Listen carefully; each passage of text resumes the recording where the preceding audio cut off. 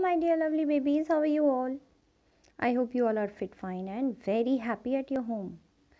Well, हमने इतने सारे blends सीख लिए हैं जहाँ पर हम दो अलग अलग लेटर्स को एक साथ साउंड करते थे राइट अब हमको और भी ब्लेंड सीखने हैं जिसमें हम डबल एल और डबल ओ का यूज़ करेंगे ओके तो आज हम क्या सीखने वाले हैं? Double L and double O as you can see L L दो कॉन्सोनेंट हैं just like that O O दो डिफरेंट कॉन्सोनेंट्स हैं.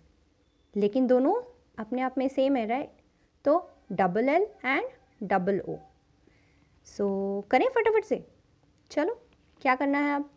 Read and write that's it यही तो करना होता है हमें, है ना? चलो भाई।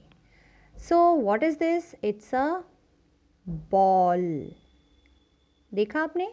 यहाँ पे है बॉल इसको हम कैसे प्रोनाउंस करते हैं? ए साउंड वर्ड है जिसको ब्लेंड के साथ हमने बॉल बोला, ठीक है? So we need to write it B A double L ball then what do we have we have hill I sound word है जिसके साथ है हमारा कौन सा ब्लैंड डबल एल हिल ठीक है? ये है हमारा H I double L hill ball hill okay and other one is well E sound word और डबल एल वाला ब्लेंड वेल ओके ये है हमारा वेल बॉल दैट मीन्स गेंद. हिल that means pahadi and well. That means kuwa okay? Ball hill well. Now ये हमने learn किया double L now we are going to learn double O so let's check ये क्या है? Well well, इसमें पानी भरा हुआ है और ये सीढ़ियाँ लगी हुई हैं।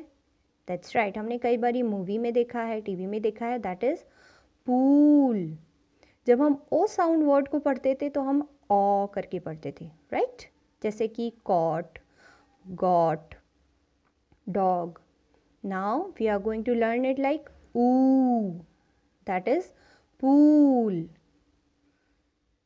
this is our pool P double O L then what do we have W वाला डबल ओ का.